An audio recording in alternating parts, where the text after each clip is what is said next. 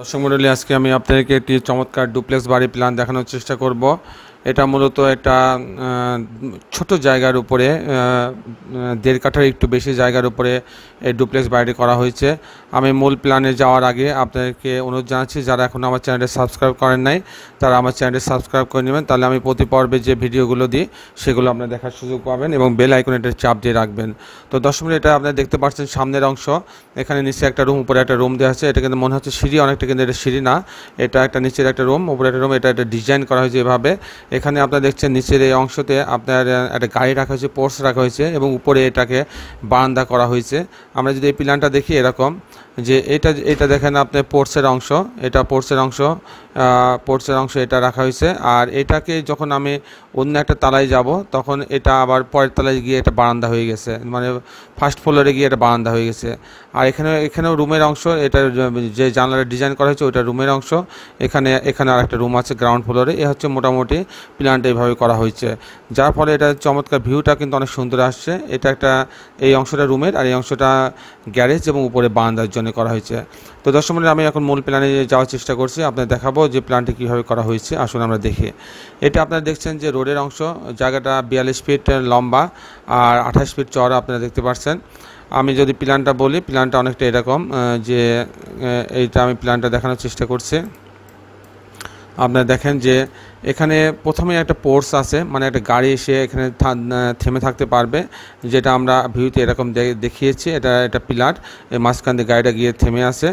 তারপরে আমি এখানে আসার পরে সে, এই এখানে একটা দরজা থাকবে, এই দরজায় ঢোকার পরে সেটা বড় ড্রয়িং ডাইনিং পাবে। আপনারা যেতে দেখতে পাচ্ছেন তেইশ ফিট বাই পনেরো ফিট এটা ড্রয়িং এটা ড্রয়িং এটা ডাইনিং আছে।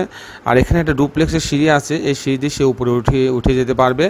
আর এখানে আপনারা দেখছেন, একটা গেস্ট বেড রাখা হয়েছে, বারো ফিট বাই পনেরো ফিট এখানে একটা কমন বাথরুম রাখা হয়েছে, আর এখানে আরেকটা বেডরুম রাখা হয়েছে বারো ফিট বাই চোদ্দ ফিট আর এটা একটা কিচেন রাখা হয়েছে বারো ফিট বাই তেরো ফিট আর অনেক বড় একটা কিচেন স্টোর সহ রাখা হয়েছে। এটা হচ্ছে, এই হচ্ছে মোটামুটি গ্রাউন্ড ফ্লোর আপনারা দেখতে পাচ্ছেন যে এই গ্রাউন্ড ফ্লোর প্ল্যানটা আমি এরকম করছি যে একটা বড় ড্রয়িং ডাইনিং একটা ডুপ্লেক্সের সিঁড়ি, একটা দুইটা বেডরুম আর এখানে বাথরুম এবং কিচেনের সমন্বয়ে রাখা রাখা হয়েছে।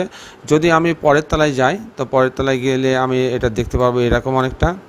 আপনারা দেখতে পাচ্ছেন যে এখানে একটা একটা বেডরুম, এখানে সামনের এটা বারান্দা, যে বারান্দার ডিজাইনটা আমি বারবার দেখানোর চেষ্টা করলাম। এখানে একটা বেডরুম, পনেরো ফিট বাই পনেরো ফিট, বড় একটা বেডরুম। এখানে একটা কমন বাথরুম রাখা হয়েছে। এখানে আর একটা বেডরুম রাখা হয়েছে আপনারা দেখছেন, সতেরো ফিট বা তেরো ফিট। আর এখানে একটা বেডরুম না, এটা একটা লিভিং রুম রাখা হয়েছে। এটা আসলে লিভিং রুম হবে আট ফিট বাই তেরো ফিট এখান থেকে বিভিন্ন রুমে যাওয়া যাবে। এটা ডুপ্লেক্সের সিঁড়ি। এখানে আরেকটা বেডরুম বারো ফিট বাই সতেরো ফিট আর এখানে এই বেডরুমের সঙ্গে একটা ড্রেসিং রুম এবং বাথরুম অ্যাটাচ করা হয়েছে। এখানে বারান্দা রাখা হয়েছে। এই মোটামুটি একটা, দুইটা, তিন মানে উপরতলায় তিনটা রুম বারান্দা আর লিভিং রুমের সমন্বয়ে করা হয়েছে।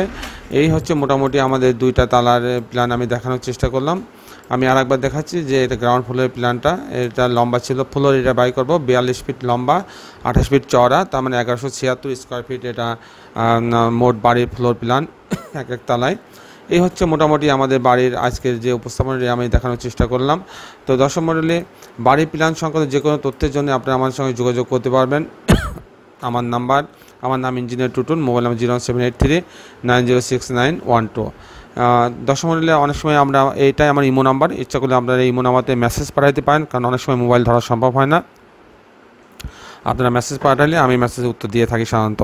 তো দশম মণ্ডলী আপনার সবাই ভালো থাকবেন। আগামী পর্বে একটি সুন্দর ভিডিও নিয়ে উপস্থিত হব, ততক্ষণ বিদায়। আল্লাহ হাফেজ।